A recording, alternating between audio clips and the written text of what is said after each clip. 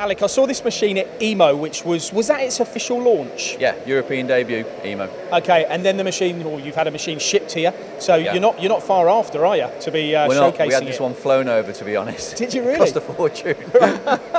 So this is the SL7. Tell us about this machine. Does it replace anything that Stars exist, uh, existing products with brand It, new? it doesn't really. It just fills a little bit of a gap in our range. So we're going to offer this as an SL7 and an SL10. Right. So what will it make? Small micro machining parts, contactor parts, those types of components. Because you used to have the uh, a 10 mil machine, didn't you? Yeah, we've still got the SR10J, so that is still um, being manufactured and, and sold. So what would be the difference from that machine to this for users that may already have the? Versatility is the big difference. Uh, the SR10J for sure can make a lot of components, but it takes a lot of engineering to attach whirlers, gear hobbers, that type of thing to that machine. Uh, with this machine, because of the uh, platen arrangement, all of those attachments are just bolt on.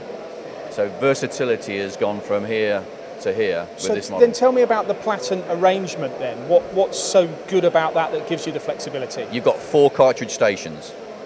So you've got the drilling arm that we have. That can either be a four station drilling arm or a six station drilling arm. You can have five cross working tools in there if you want. Or you can have, like I say, slotters, gear hobbers, thread whirlers.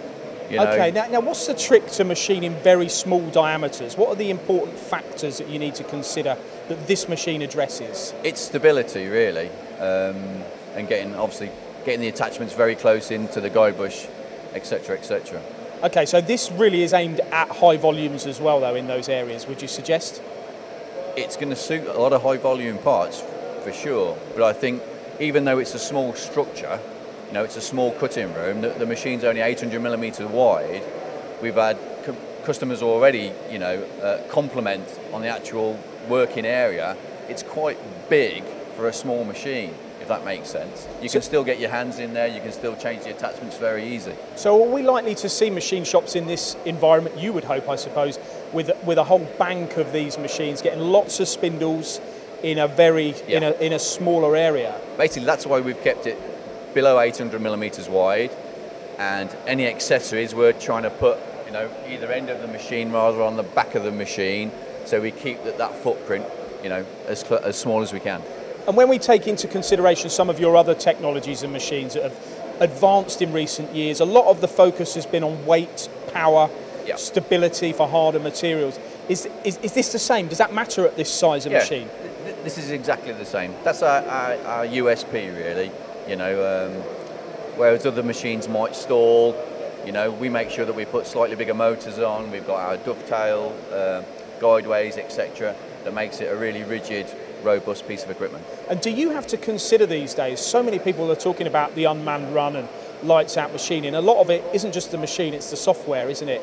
It's it's making sure you know you, you're maintaining tolerances over long periods of times, but you get the feedback in the event that you're not.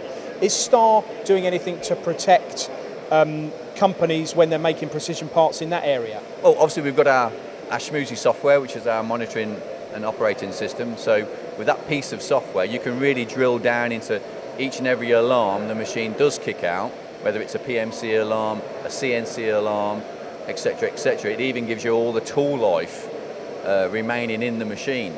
So you can be watching your tablet, your smartphone, or your PC, and you know within a couple of hours you've got to get back in, you know, check the life of that tool, That's, that's critical, isn't it? That's brilliant. That, that really does help out uh, machine shop owners. So, no point in buying machines that, that can run unmanned and not be able to run them unmanned Yeah. for the reasons you mentioned.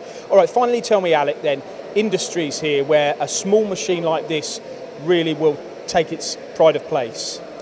Micro machining, small electronics, that type of industry, I think that type of sector really benefit from this model.